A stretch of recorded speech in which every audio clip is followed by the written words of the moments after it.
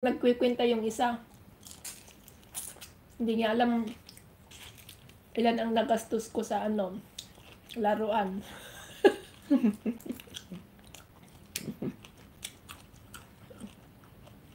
Kahit na tagwa 1 euro lang si Siciali pag naipon, malaki din yun.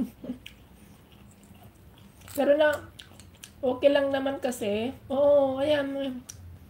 Kasi ano, maalagaan mo naman yan at saka sa short video. Mm-mm.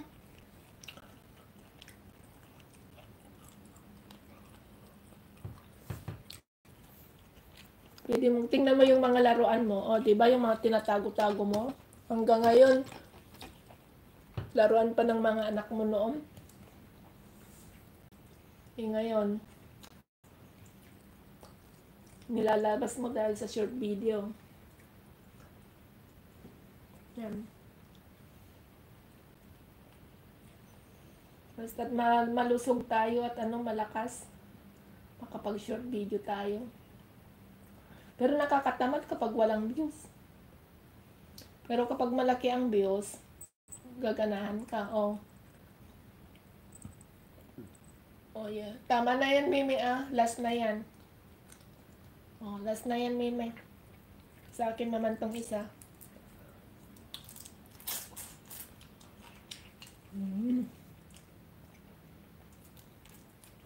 Mm. Masarap kasi kasi manamis-namis siya.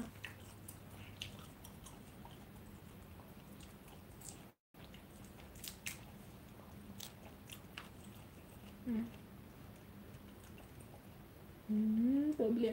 At si Sishalin sa Monday pa lang, may masahe ako. Kapag uh, mag-start na akong mag-live, papunta doon sa masahe ko. Tapos iiwan ko yun sa sasakyan. Hanggang matapos. Ako dalawa yung imamasahe ko sa Monday.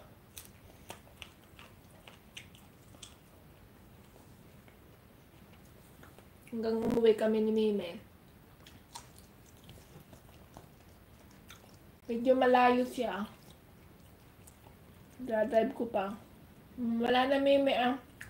Ito na oh, last. Hmm, last na. Hmm. Tubli.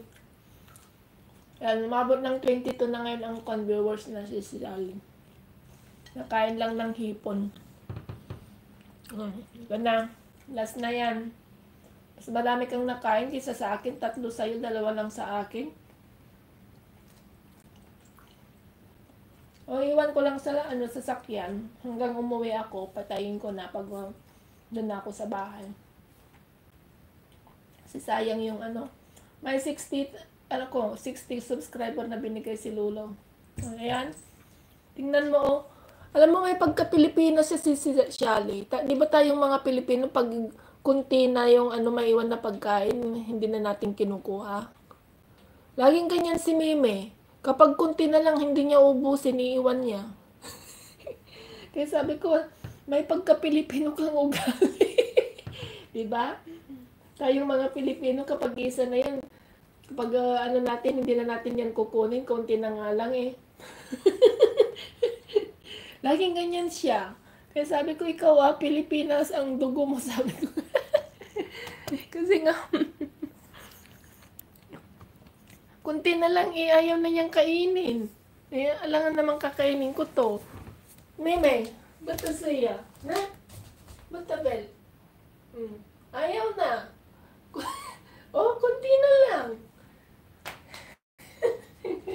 ano ba yan?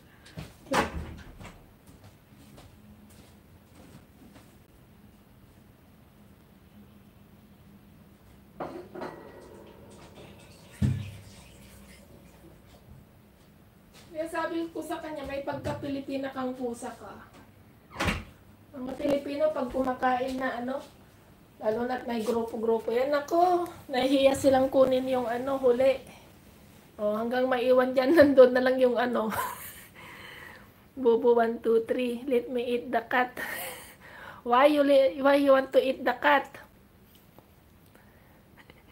Who are you, Bubu 1, 2, 3? Ayan, si si Shally may Bubu 1, 2, 3. Pangalan ni Bubu mo. Thank you, Bubu, for, for coming.